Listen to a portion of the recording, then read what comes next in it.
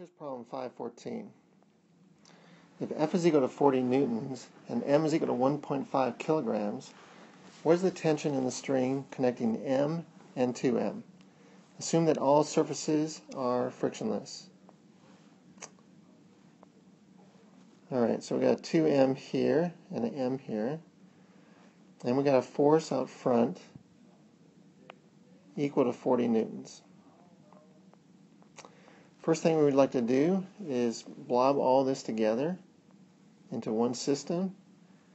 And let's just assume that it's all moving together with one forward acceleration up in the direction shown.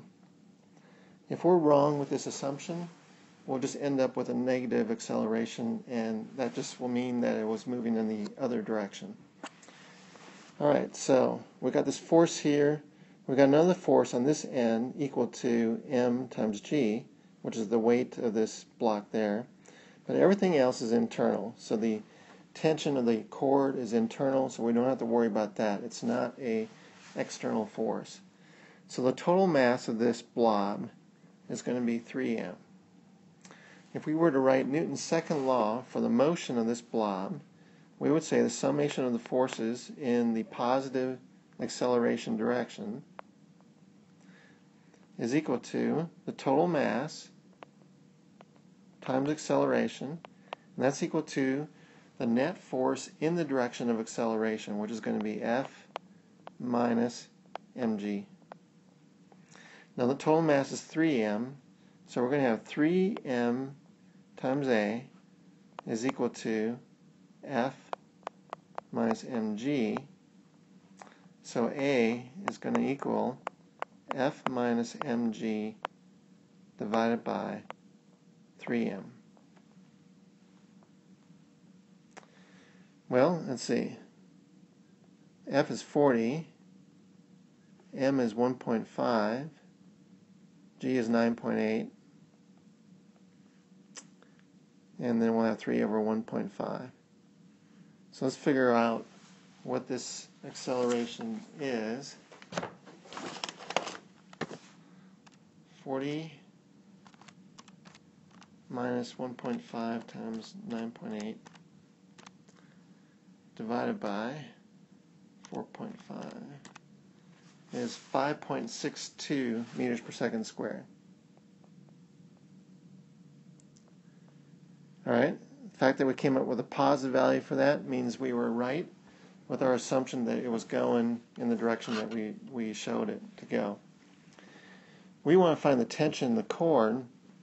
And the problem with the blob method is that we can't get the tension, it's internal. So we need to focus separately on one of these masses. Either one will do. But let's take the hanging one because it's a little bit easier. If we did a free body diagram on mass m, it's got weight, mg, and the other force acting on it is just the tension, which is pulling up. As a result of these two forces, it manages to accelerate upward with a value of 5.62 meters per second squared. That is our free body diagram for mass 2.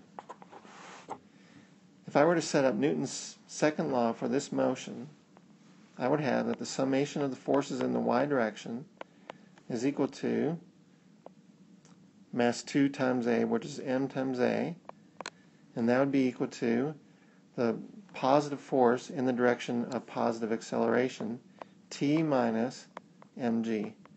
mg is going to be negative because it's in the opposite direction. So we are going to have 1.5 times a is equal to t minus 1.5 times g.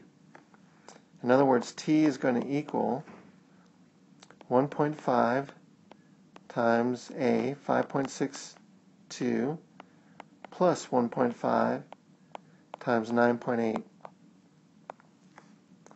And that will give us a value of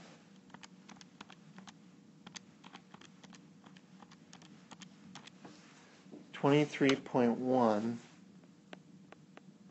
newtons guess I should write this out since we've been using n for normal force. So our answer is 23.1 newtons. That is the tension in the cord for this problem.